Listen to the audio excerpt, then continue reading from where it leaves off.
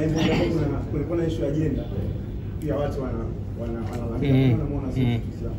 Ah, sa- sasa unajua wakati mwingine ratiba za za wasanii nao tuongee ukweli, wanakuwa watu tayari wakishakuwa na ratiba zao, lakini tunajitahidi kuwaingiza wasanii wote tofauti tofauti, wasanii tunawapigia simu pia waje katika tamasha, wasiletee pozi. Ukiletea pozi mimi nakukata tu, unaelewa? Kwa sababu hata usipokuwepo sherehe utajaa. Sasa wasanii tuweke flexibility ili wote tushiriki.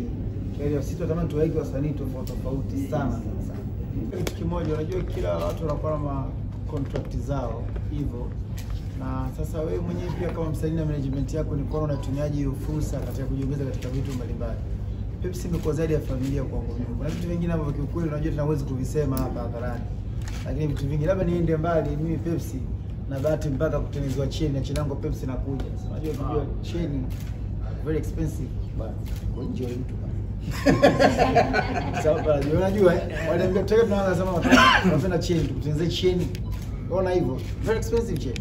Sasa hiyo ni kupata mfano, lakini matamasha mengi mengine ya nje, unajua makubwa ambayo na Pepsi. Mara nyingi sana Pepsi kwa tunazungumza kama kwenda kuperform, na nadhani kwenye matamasha mengine, hatuyasemi tu hadharani.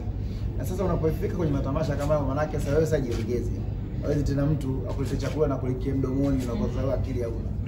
Na hivyo, lakini kiukweli umeparticipate katika sehemu kubwa sana kwenye kwenye kwenye karia yangu toka tunaanza kufanya kazi, na mimi nashukuru sana.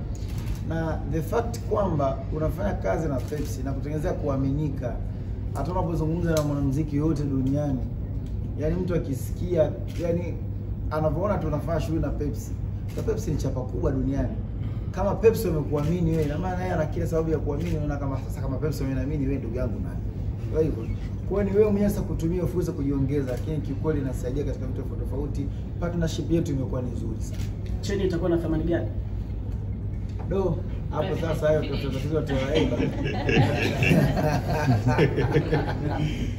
Lakini kwenye hilo la cheni tuliona watu wanajadili kwamba labda cheni zako labda sio zenyewe nini, lakini kila mtu ana comment yake.